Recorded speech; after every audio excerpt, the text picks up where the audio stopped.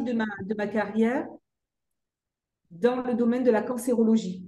Donc là, le dernier, je pense, poste que j'occupe est le poste, comme a dit euh, Patrick, sur le centre de haute énergie, qui est un centre de radiothérapie euh, qui traite donc les patients atteints de, de pathologies chroniques. Donc pourquoi euh, s'intéresser à ces pathologies chroniques avec le professeur Ben Sadoun, qui est donc le gérant de notre société les pathologies chroniques ben, sont une, ben, vous le savez, sont, de longue durée, évolutives, et il y a indiscutablement un retentissement sur la vie quotidienne. Et euh, les exemples sont ceux du, bah, du, diabète, des pathologies cardiovasculaires et du cancer. Donc, 35% euh, de la population est, touchée, 20 millions de personnes en France, donc ça représente quand même un gros budget dans les dépenses de santé, notamment 84 milliards d'euros. Donc, euh, voilà, ça mérite qu'on s'y arrête et qu'on se pose donc des questions on peut, on peut poursuivre. Euh, lorsqu'il y a l'annonce de la pathologie chronique, et nous, c'est ce que l'on fait systématiquement aux patients qui rentrent euh, en soins dans, notre, dans nos structures, il y a l'annonce de la pathologie chronique qui est effectuée par, euh, par un de nos médecins, donc ils sont sept hein, dans la structure. Donc il y a une heure de temps qui est dédiée à l'annonce de la pathologie chronique. Et là, c'est effectivement un tsunami pour le patient, un véritable bouleversement. Il y a vraiment un changement brutal euh, et une perte de repères et profondément une conséquence sur le qui je suis. C'est-à-dire qu'aujourd'hui, j'étais une personne bien portante avec une activité ou avec ben voilà, mes préoccupations et je deviens une personne malade. Donc, il y a vraiment une, voilà, un tsunami qui arrive. Et on se rend bien compte qu'aujourd'hui, ben, face à cette situation qui est complètement euh, chaotique, euh, l'approche du patient doit se faire euh, de façon peut-être différente que ce qu'elle était organisée jusqu'à présent et se dire qu'il va falloir prendre en compte différents facteurs qui vont interagir dans le cadre de la maladie chronique et qui, pour nous, a porté, sur lequel on a mis un accent, on s'est dit aujourd'hui dans les consultations d'annonce que l'on fait auprès de nos patients, est-ce qu'effectivement on écoute bien le patient? Est-ce qu'on écoute bien les besoins qu'il ressent, ce qui est important pour lui? Quel est son système de référence du patient? Euh, Quelles sont ses croyances? Quelles sont les stratégies qu'il va mettre en place ou qu'il met en place dans, différents domaines de sa vie? Aujourd'hui, euh, ben, quelle est la réponse du système de santé? Parce qu'il ne va pas venir qu'en radiothérapie, il va faire de la chimio, il va peut-être avoir droit de la chirurgie. Euh, donc, quelle est la réponse et comment les professionnels de santé vont se comporter vis-à-vis de ce patient? Est-ce qu'il y a une interaction entre, entre le corps et l'esprit? Donc, ce sont toutes des questions que l'on se pose et qui, et qui sont intéressantes dans le domaine du coaching de, santé.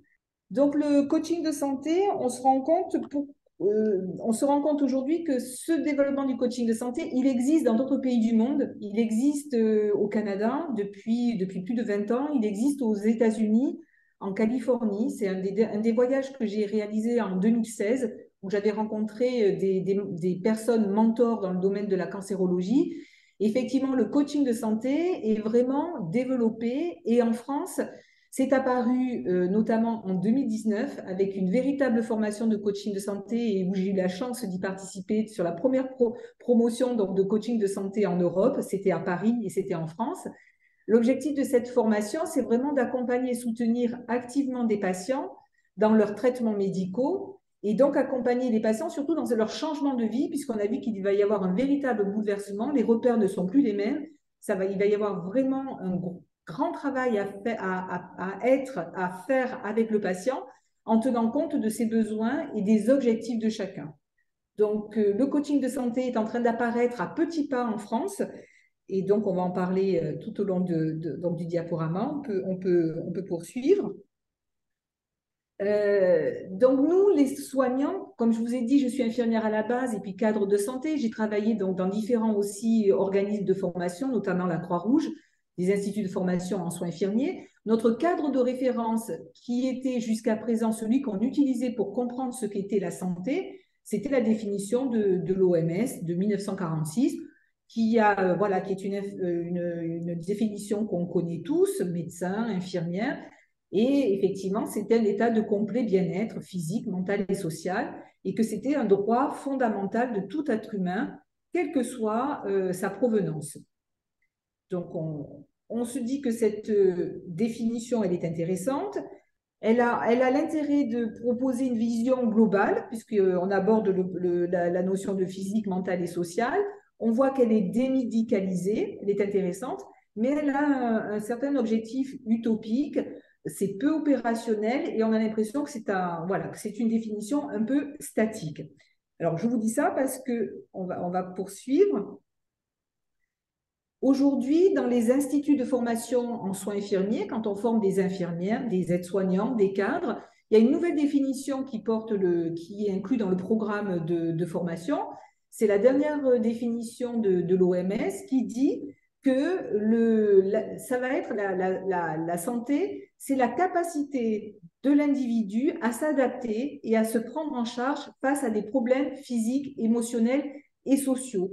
Donc, il y a un changement. On se rend compte qu'il y a des changements et des évolutions par rapport à la, conception de la santé. On se dit que c'est un processus ben, qui est d'adaptation et qui n'est plus statique, que ce n'est plus un droit, ça l'est encore, c'est un droit à la santé, bien sûr, tout le monde doit avoir droit à l'accès aux soins, mais la solution n'est pas uniquement extérieure à l'individu, c'est-à-dire qu'on ne dépend, ne dépend pas uniquement de l'environnement extérieur, mais qu'il peut y avoir une solution intérieure au patient qui doit se prendre en charge. Donc, pendant la formation que j'ai pu suivre en 2019, c'était vraiment très intéressant de, de, de, faire connaissance du docteur euh, Monsampé. Docteur Monsampé est un monsieur qui, a, euh, je crois, 70 ans à peu près, qui a travaillé au début de sa carrière avec Mission sans, Mission sans frontières, qui a évolué dans le domaine de la cardiologie et qui petit à petit, s'est vraiment intéressé euh, au coaching de santé. il est un des principaux fondateurs avec l'équipe justement américaine qui est venue nous former euh, en France. Et donc, il y a cinq principes essentiels de l'approche intégrale de la santé. Et donc, les principes que vous voyez sont des principes euh, de santé ben, globale, holistique. Il y a un principe aussi évolutif de la santé. On se rend compte que ben voilà, la, santé évolue, la recherche, les soins, le, patient évolue par rapport à, ce, à l'évolution de la santé. Il y a aussi un principe intentionnel de la santé. Qu'est-ce que je veux faire euh, Qu'est-ce que je mets en place comme objectif par rapport à la situation qui m'arrive, cette pathologie chronique qui me tombe là, sur les bras Qu'est-ce que, Quelle est mon intention? Euh, Le fait aussi qu'on qu'on centre la personne, qu'on mette la personne vraiment au cœur du processus, et donc un principe aussi dynamique de la santé, c'est-à-dire un principe où on n'est pas passif dans le soin, mais on est acteur de la, de la santé.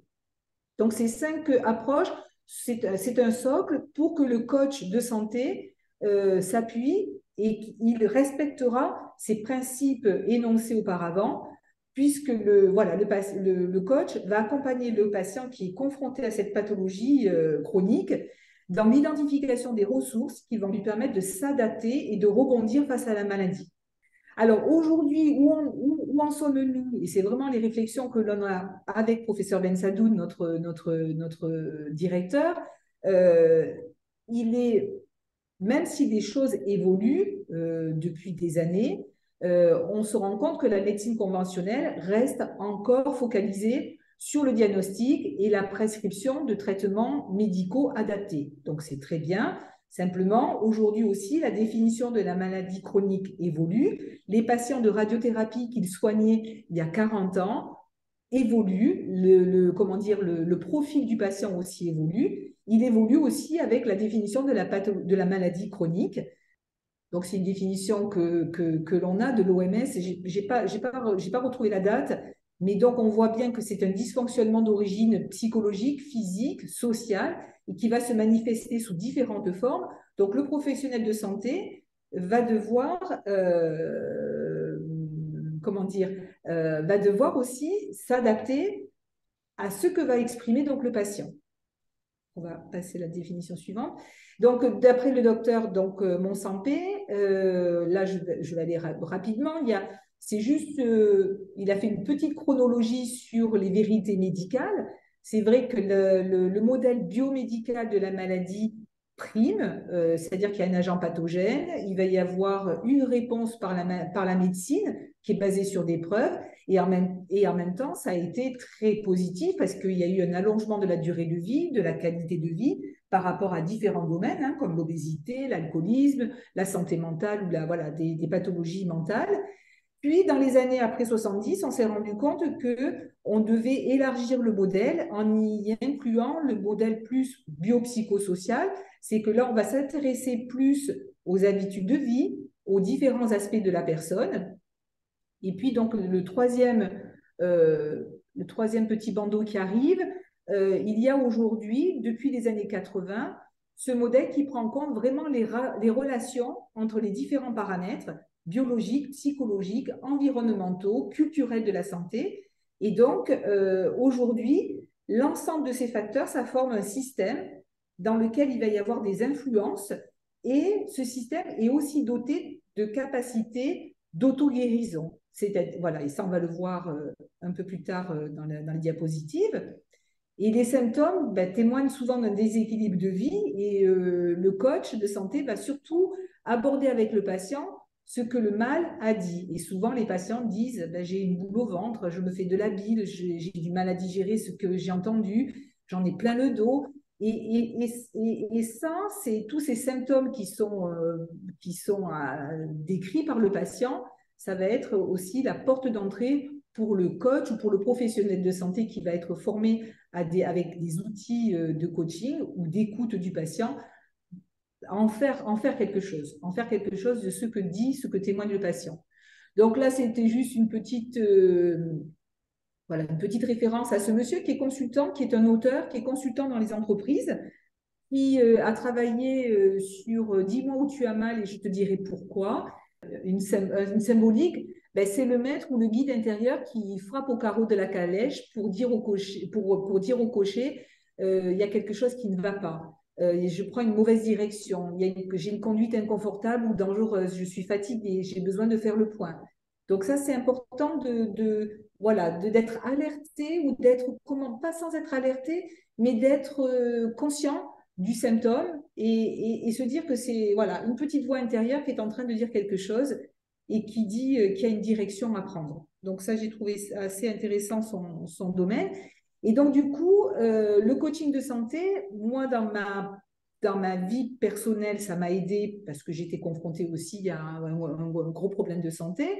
Euh, et en même temps, ce sont aussi, cette formation m'aide également à accompagner les équipes et, et, la transformation des organisations parce que ça permet de, de faire, de, voilà, de, de faire l'émergence et la mise en place ben, de, stratégies de réussite, autant auprès de l'individu qu'auprès du collectif. Donc le coaching de santé, pour moi, a été vraiment important, tant dans mon domaine personnel que dans mon domaine professionnel.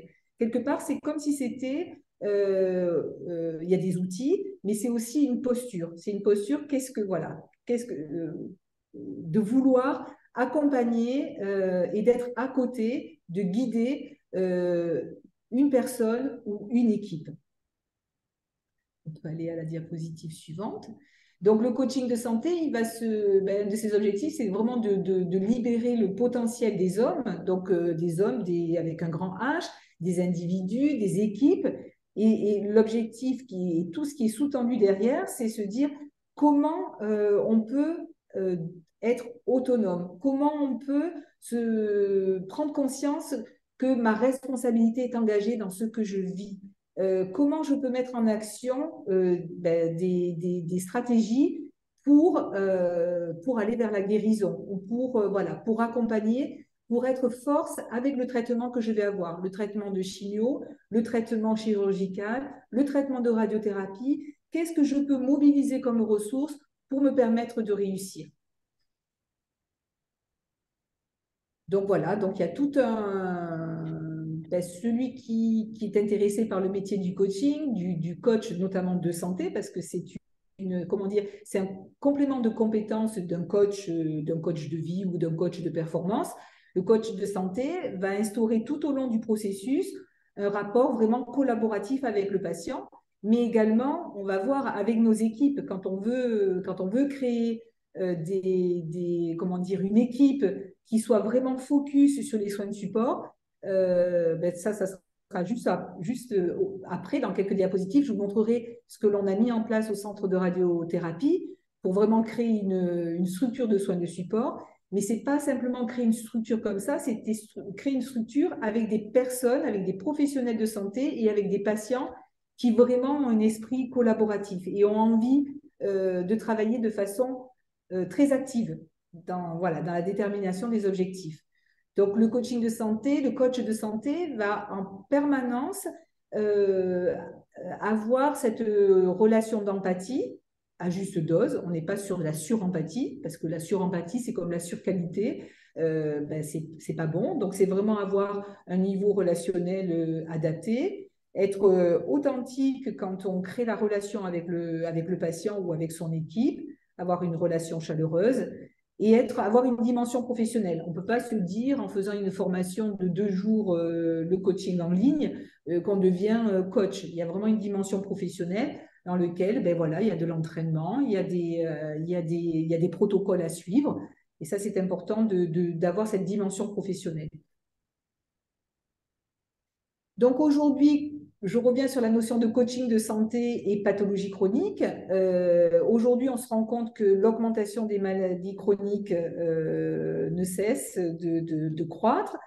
Le vieillissement de la population grâce aux effets bénéfiques ben, de, tout ce qui est mis en place, la population vieillit.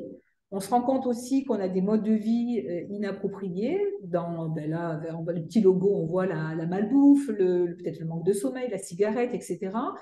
Les prises en charge médicales sont là, il y a des dépenses de santé, il y a aussi un épuisement professionnel autour de moi quand je, maintiens toujours le lien avec mes, anciennes collègues, mon réseau.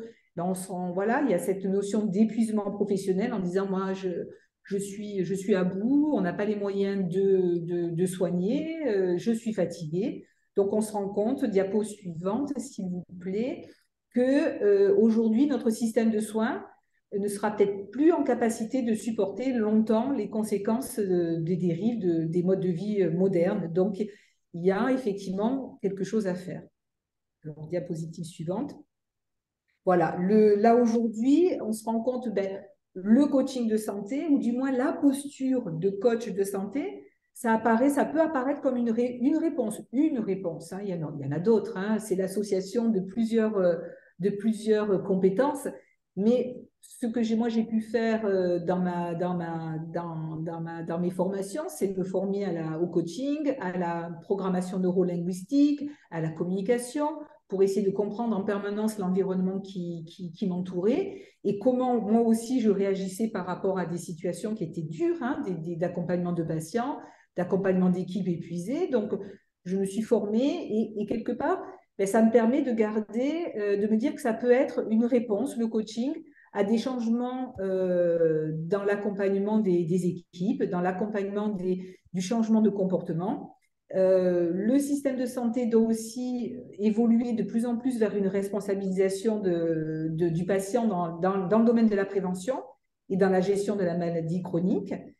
Et que voilà, le coach de santé, il n'est pas là, il n'accompagne pas que la maladie, mais il accompagne surtout l'individu dans son état spécifique, dans son état parfois quand il va être sidéré au moment de l'annonce, quand il va être dans la tristesse, quand il va être dans différentes émotions. Euh, voilà. Comment le, professionnel de santé formé au coaching peut l'accompagner à justement euh, travailler sur ses ressources? Donc moi, je suis arrivée au centre de haute énergie il y a trois ans, euh, avec derrière ben, toute, ben, toute, mon expérience que je pouvais avoir sur la formation, sur la, cancérologie, sur les formations que je suivais. Et quand je suis arrivée au centre de haute énergie, je suis arrivée en même temps que la Covid, c'est-à-dire en 2020. En fait, à ce moment-là, en 2020, on se dit, euh, on se dit qu'est-ce qui est fait au centre de haute énergie comme euh, travail sur les soins de support? Comment on accompagne les patients? Et donc, ça a été intéressant parce qu'on a créé un groupe de travail euh, qui existait déjà, hein, parce que les soins de support existaient. Euh, on proposait de ce qu'on appelle de la photobiomodulation, donc du, laser, qui est euh, très bénéfique pour les effets secondaires de la, des chimiothérapies, donc notamment pour les neuropathies, pour les mucites, pour les difficultés de cicatrisation après une intervention. Donc il y avait du laser, on a une psychologue aussi oncologue, qui, psychologue en oncologie qui est présente. Et on s'est dit, mais comment vous, comment vous, vous proposez les soins de support? Et en fait, on, euh, en, faisant le bilan de l'existant, on s'est rendu compte que les, professionnels proposaient un panier et puis bah, faisaient piocher aux patients un petit peu de socio-esthétique, un petit peu de psychologie, etc. Donc on s'est dit, bon, ok, c'est le bilan existant, on a des personnes ressources, comment on peut optimiser? Alors peut-être il y a encore une animation à faire, monsieur. Voilà allez-y encore. Et en fait, à ce moment-là, on a vraiment l'impact du Covid. On est obligé de suspendre les consultations d'annonces et certains soins de support. Et on se rend compte, mais très très vite, que les patients, quand ils viennent faire leurs soins de radiothérapie, ils disent, mais attendez, avant j'étais quand même un peu accompagnée. Écoutez, on retrouve des patients très stressés et très anxieux et des patients qui se présentent dans des conditions physiques euh, plus non adaptés au traitement. Certains disent, ben, j'ai plus la diététicienne, je, voilà, cette suspension. Euh, alors nous, ça nous a permis de se dire, bon, ben, là, il faut qu'on agisse, qu'on prépare un plan d'action et qu'on réorganise peut-être le processus de soins de support, ben, et tout en étant dépendant de, l'environnement à ce moment-là, parce que la Covid ne nous permettait pas de recevoir, et il fallait mettre les gens en télétravail, etc. Mais ça a été aussi bénéfique parce que ça nous a permis de créer, alors, sans, faire des animations, justement. L'objectif, c'était aussi de, bah, de, vous décrire le parcours du patient quand il rentre dans, dans notre établissement. Euh, il a un programme personnalisé de soins, un fameux PPS qu'on lui remet. Et ce PPS, il va commencer dès la première consultation médicale le médecin rencontre le patient, il a une heure de conversation avec le patient, il va lui expliquer tout le traitement de radiothérapie et en même temps, il va voir là où le patient a des difficultés nutritionnelles, psychologiques, de, voilà, etc. Donc, il fait ce, premier bilan, le médecin. Et ça, c'est important parce que nous, le médecin, et vraiment, on en a sept de médecins, ils sont tous prescripteurs et des adeptes des soins de support. Donc, très vite, ils vont faire une, voilà, une prescription, un bilan de comment est le patient à ce moment-là. Et à la sortie de la première consultation médicale, la secrétaire est là et elle va donner au patient tous les documents qui sont nécessaires pour la bonne compréhension du patient et aussi un questionnaire d'auto-évaluation pour que le patient à la maison, dans son environnement, puisse vraiment dire mais qu'est-ce qui est important pour moi? Qu'est-ce que de quoi j'ai besoin aujourd'hui? Qu'est-ce qui me perturbe le plus? Puis le patient va revenir pour faire son scanner et, sa dosimétrie. Puis après, et tout ça, il se passe à peu près une dizaine de jours, on l'accompagne parce qu'il va y avoir une consultation d'annonce paramédicale. Donc là, on a des infirmières et des manipulateurs radio qui ont été formés et on a profité, entre guillemets, de la Covid, de ces moments où ben, c'était un peu le, temps suspendu. On a fait venir un directeur d'une école de coaching et elles ont passé 35 heures à une formation justement à comment je peux écouter le patient.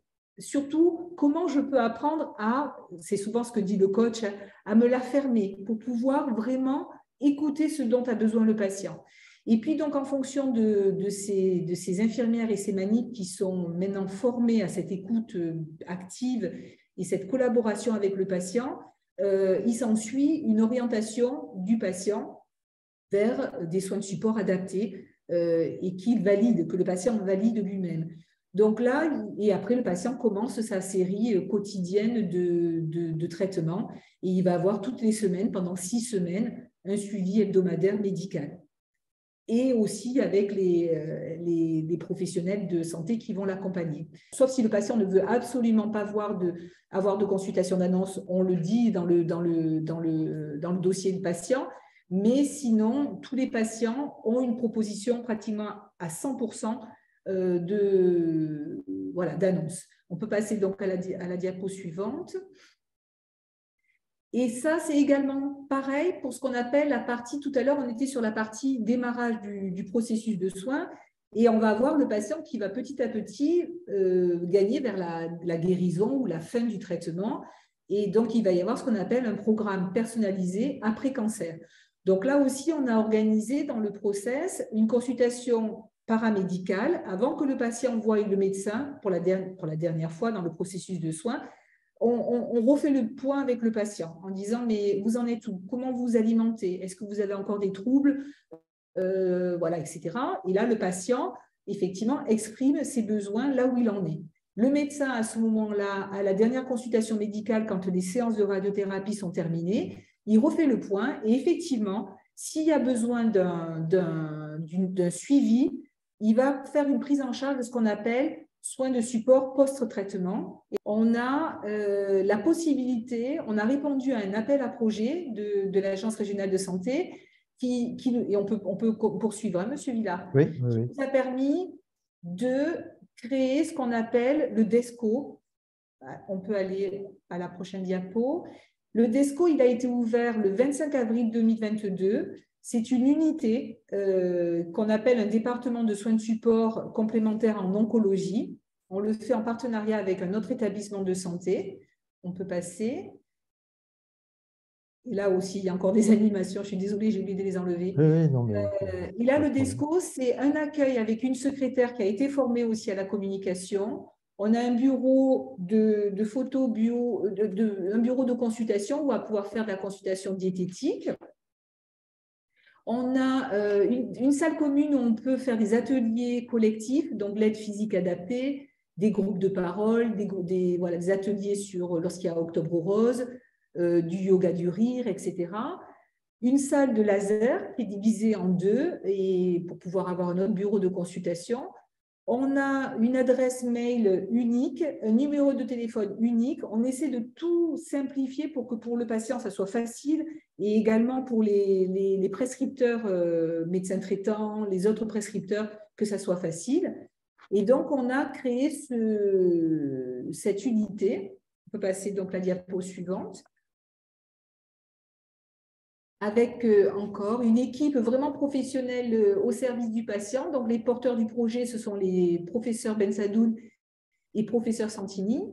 Le médecin référent, c'est docteur Astier. Et là, on a toute une équipe euh, de, personnes qui ont été formées à la, comment à la vision de ce que l'on souhaitait des soins de support, avec vraiment cette écoute du patient et cette orientation qui est adaptée et pour que le patient vraiment devienne, exprime ses objectifs, dit, dit où en sont ses croyances. Parfois, elles sont positives, mais parfois, elles sont aussi limitantes. Donc, on a vraiment, toute l'équipe a été formée à cette, euh, à cette approche-là. On peut, on peut poursuivre. Encore. Donc, il y a vraiment le point de départ, c'est une prescription qui est formalisée par le médecin. C'est donc vraiment ce qui est intéressant, c'est que le médecin est tout le temps sur la chaîne du, et du soin et des soins de support. Il y a des traçabilités dans des, dans des tableaux de bord que nous demande l'ARS, mais qu'en même temps, euh, ce n'est pas qu'on s'est empressé de les remplir, mais ça permet de, de voir que tous les patients que l'on suit, il y a une véritable base de données euh, qui est là pour pouvoir suivre euh, le parcours de ces patients. On a uniformisé aussi à travers les outils les trames des comptes rendus, par exemple, pour que tout le monde travaille aussi en partageant les outils. Il y a donc la véritable participation de tous, l'implication. Et donc, tous les, pas tous les vendredis, un vendredi sur deux, donc deux fois par mois, il y a un staff pluridisciplinaire où il y a toujours le médecin du service qui est là, mais également la parole est donnée vraiment aux soignants pour qu'on puisse vraiment parler ben, des situations des patients et comment on pourrait, parfois il y a des situations de patients tellement complexes, où on cherche aussi ensemble euh, des solutions euh, à proposer aux patients en plus. Là aussi, il y a des, voilà, il y a des, il y a des, voilà. Alors, nos orientations aujourd'hui, on continue à vraiment capitaliser les compétences de chacun. On, essaie de promouvoir de façon continue les, voilà, les soins de support. On va construire, et ça c'est dans, dans, quelques mois, un étage supplémentaire au centre de haute énergie. Ça nous permettra d'avoir vraiment euh, pratiquement 500 mètres carrés de plus pour pouvoir faire des bureaux et, pouvoir encore plus élargir le panel de propositions. Euh, on essaie, alors ça c'est aussi mon bâton de pèlerin que j'ai que euh, dans ma main, pour essayer de modéliser et de, d'étendre nos savoir-faire auprès d'autres établissements. Et je crois qu'il y a une autre, et qui a, voilà, et de fait de proposer des soins de support on essaie d'avoir des financements. Euh, alors, des laboratoires peuvent nous déposer euh, parfois des, petites enveloppes pour pouvoir, euh, nous, on les réinvestit à ce moment-là sur des ateliers un peu spécifiques, comme la danse-thérapie, la musicothérapie. Voilà, donc euh, en termes de conclusion, c'est que voilà, le coach de santé, pour moi, ça m'a permis en termes d'outils d'être, ben voilà, dans, le, dans l'accompagnement du, du, changement, dans l'accompagnement des comportements, parce que même ce sont même les professionnels, c'était pas gagné d'avance, hein, et puis il n'y avait pas question de gagner, mais c'était pas euh, les, les, gens avaient l'habitude de faire une certaine forme de proposition de soins de support, là de, de, de, modifier la façon de concevoir le le patient et d'avoir vraiment le, le, patient comme dynamique et responsable de sa guérison, d'être acteur, euh, ça a un peu chamboulé les, en interne. Donc, je pense que c'est important d'avoir des outils pour justement accompagner et que je puisse moi aussi de temps en temps dire, bon, là, tu vas trop vite, là, c'est n'est pas ce qu'attendent les équipes et ni le patient. Donc, voilà, d'être un véritable catalyseur de santé et d'être tuteur de résilience. Donc, ça, c'est un, voilà, c'est un, c'est une des conclusions. Et puis, je pense qu'il y a encore euh, peut-être deux ou trois diapos. Donc, c'est vraiment le coach de santé, c'est vraiment le devenir, parce qu'aujourd'hui, on me demande aussi d'intervenir dans les instituts de formation, auprès des cadres de santé, auprès des infirmières, pour pouvoir euh, dire que être, euh, voilà, avec ces outils de, de coach de santé, on peut effectivement apporter, accompagner des patients, on peut accompagner aussi les aidants, les proches, et puis aussi les soignants qui sont confrontés à des situations d'épuisement et qui parfois euh, n'ont même plus le temps de regarder quelles sont leurs ressources, quelles étaient leurs motivations, comment ils peuvent euh, voilà, euh, oser demander à ce que les lignes bougent dans les services. Donc du coup, cette approche-là, elle peut être intéressante parce qu'elle peut apporter du plus à, vraiment à différents publics. Et puis après, on peut regarder. Donc c'est voilà, euh, c'est le, voilà, le patient ou l'équipe se responsabilise davantage.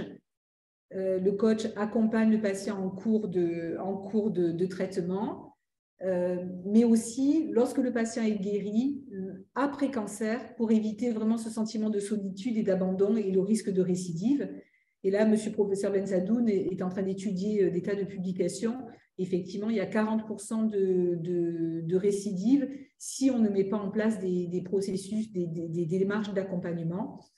Et donc, euh, je pense que ces effets euh, peuvent être positifs vraiment sur les mentalités, sur les comportements des individus, et que ça peut avoir un impact sur l'environnement aussi économique de notre système de santé.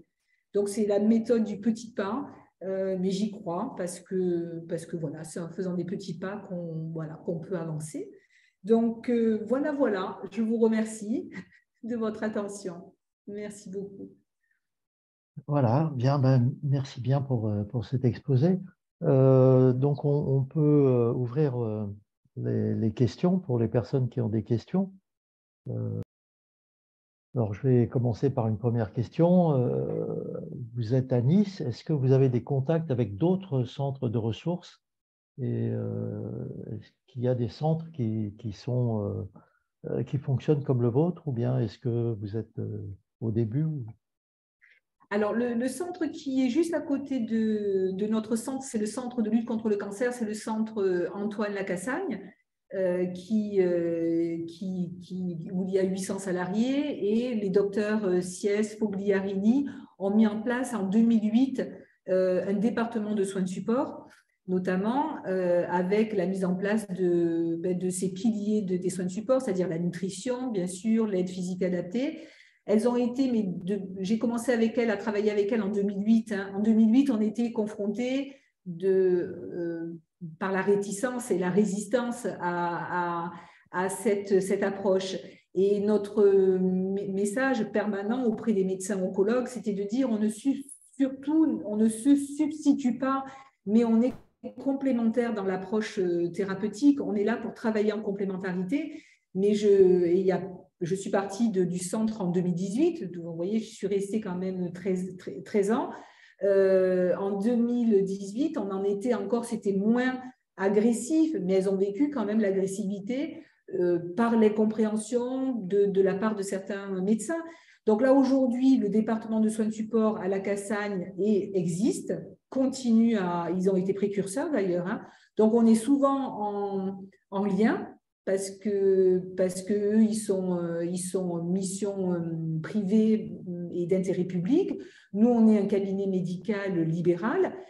D'autres centres mettent sur les portes soins de support, mais le problème, c'est que quand on ouvre la porte, euh, ben, bien souvent la diététicienne qui est malade n'est pas remplacée, la psychologue qui est en maternité n'est pas remplacée. Donc oui, il existe le dispositif, mais à l'intérieur, euh, et ça, a un coût, ça a un véritable coût. Et c'est vrai que là, aujourd'hui, on quand on fait un peu le compte des personnes que l'on met à disposition pour le patient, euh, les établissements, euh, ben, il faut compter, euh, là, nous, aujourd'hui, on est sur des, sur des sommes qui sont entre 17 et 20 000 euros par mois pour pouvoir payer la secrétaire, payer la psychologue, payer et, sans, et sans avoir de, de, retour, enfin de retour financier. Hein. Après, derrière, on a une, comment dire, on a le retour des patients et en même temps une reconnaissance de, de, ben, nos tutelles. Là, aujourd'hui, l'ARS euh, nous a labellisés, euh, mais très, très, très vite,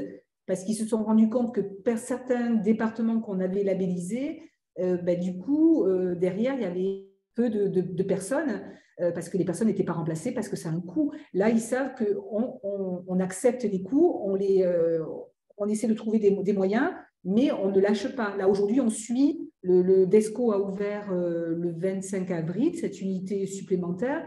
On suit 125 patients euh, pendant euh, depuis, depuis, depuis un an. On suit 125 patients et 125 patients que vous voyez arriver vraiment avec les épaules abattues ou avec différents symptômes. Et qui sont, ben, qui du coup retrouvent une communauté, font de la gymnastique, s'échangent les adresses, et puis voilà, il y a, il y a un retour à la vie sociale et, et, à, et ça, c'est intéressant. Et, nos médecins ne lâchent pas. Donc, euh, c'est ce qui me permet, moi, d'oser faire des choses et de créer avec les équipes parce que j'ai aussi l'appui euh, des médecins, des médecins du centre de haute énergie. Après, aujourd'hui, ce qu'on est en train de, moi, ce que je suis en train de vraiment de privilégier dans notre, dans notre entreprise, on a, on a 50, à peu près une cinquantaine de salariés. Hein. Là, depuis, euh, depuis quelques années, on fait des entretiens professionnels aussi. Donc, euh, voilà, les entretiens professionnels sont obligatoires tous les deux ans pour pouvoir étudier et échanger sur les projets professionnels de chaque salarié. Aujourd'hui, ce qui, enfin, en tout cas, c'est ce que j'essaie de promouvoir parce que je pense que c'est aussi la, la, la, piste, parce qu'effectivement, on ne peut pas embaucher une diététicienne, on ne peut pas embaucher une psychologue. Aujourd'hui, ce qui est intéressant, c'est de pouvoir demander aussi à nos professionnels de santé comment ils peuvent augmenter ou euh, potentialiser leurs compétences. Là, vous voyez, euh, on a embauché une, infirmière, elle est à la base, elle est infirmière, elle a travaillé dix ans euh, sur le centre Léon Bérard à, Lyon.